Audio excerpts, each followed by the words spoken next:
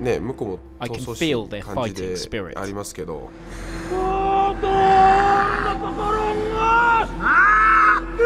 Since you've been a boy, it's, it's always been a special thing to watch.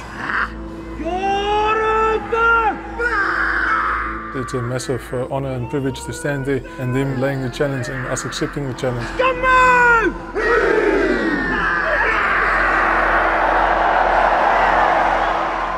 Both intimidating and inspiring, the haka is one of rugby's most spectacular traditions. Since 1905, the All Blacks have used the Maori war dance to lay down an imposing challenge to their opponents. Yeah, the haka is a, a wonderful tradition from, the, from, from New Zealand. Hopefully I don't disappoint them when we start the game. I think for me, the Haka was just uh, a dream come true. Um, I always dreamed to face it, and um, when it happened, it was just amazing. You always, that's the one game you want to play. It's the biggest rivalry, and you, you watch the Haka um, from a young age. So uh, those are the, the games you play for. That's why you play the game to, to test yourself against the best, and they are definitely uh, at the moment the, the best. Remember my first one in 1996 uh, in Dunedin. I tried not to look at Jonah Lomu and focused on Andrew Mehrtens instead. And I just looked around and you could see everybody's camera flashes going off and you think this is, this is special to be, to be here with such a unique part of our game minutes before you're going to take on the All Blacks. Being part Māori, obviously, uh, when uh, the All Blacks did the haka against us, it was really quite tough to watch. And when you see see your haka being done against your team, that's quite unusual and quite was uh, it was quite strange.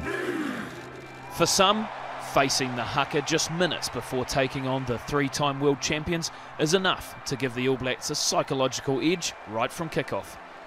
But for others, the challenge allows time to reflect, take inspiration, and prepare for what is likely to be a relentless test match. Just need to get stay focused on the things that you do. Um, and they obviously going to psych themselves up doing it, so that first 10 minutes is going to be all out. When we line up and we are watching the All Blacks perform the haka, it makes me think to myself, we can do it. It's an honour, and it makes us realise that we have to be at our very best if we are going to compete with the All Blacks. It helps me have a passionate heart and a cool head for the match.